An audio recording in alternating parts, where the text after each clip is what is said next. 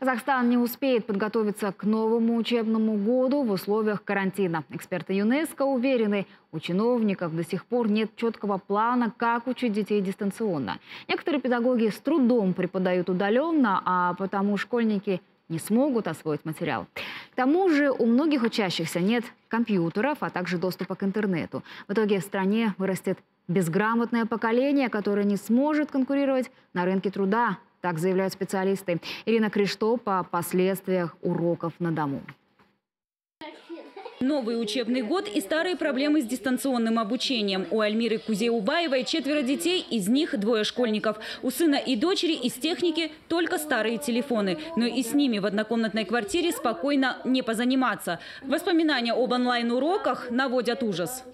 У меня дочка начала месяца, даже не то, что начала, до, до конца года, можно сказать, она плакала, потому что она вот пишет одну урок, она не успевала. Пока она это не дописала, уже другой урок там уже в WhatsApp писали, группе уже. Она пока это урок заходила, пока писала, уже третий урок вот так начиналось. Потому что здесь же шумный, маленькая комната, нигде урока не делать. Мне лучше было, бы дети из школы учились, если честно сказать. Потому что там как не было учителя объясняет, дети как-то ну, лучше образование получат. Тому же дистанционное обучение – дело затратное. Женщина говорит, в месяц на интернет придется тратить не меньше 7 тысяч тенге. Для многодетной семьи сумма существенная. Муж потерял работу из-за пандемии, а пособия в 42 500, конечно, не хватает. И это каждый месяц я по 2,5 единицы закидываю. Мегабайта не хватает. Приходится, может, там бывает на 20 не хватит, может 15 не хватает. Это мегабайт, вот, э, который я 2,5 заряжаю бывает, ну, 2400. Бывает, еще закидываю, потому что уроков у них очень много, там задает и так далее, там это... Э, бывает, телефона памяти не хватает. Ну, у нас, видите, невозможно, нету интернет э, домой провести. Это дорого.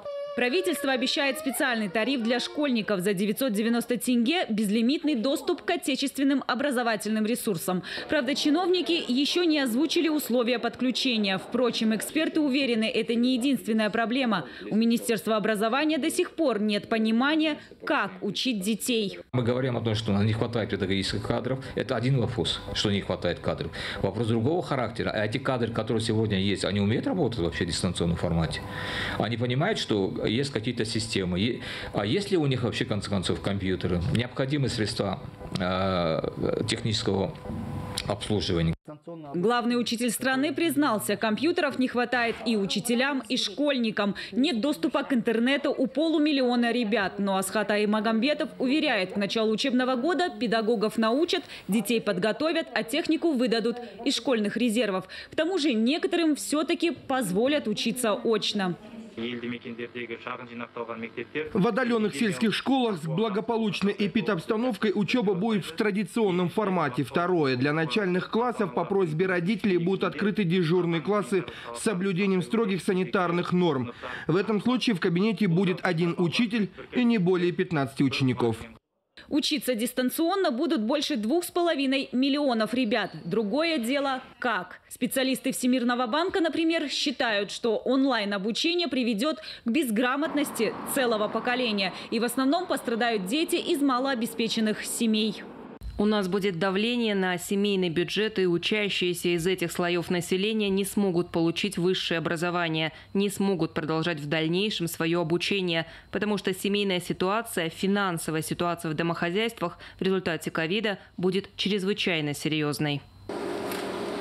А потому, уверены эксперты, после окончания пандемии нельзя резко возвращаться к старой программе. Нужно будет оценить знания детей и разработать план индивидуальных занятий для каждого, чтобы ученик смог восполнить пробелы в знаниях, которые могут появиться после уроков на дому. Ирина Криштоп, Ксения Поленица, Алмаз Нурдос, КТК, Алматы.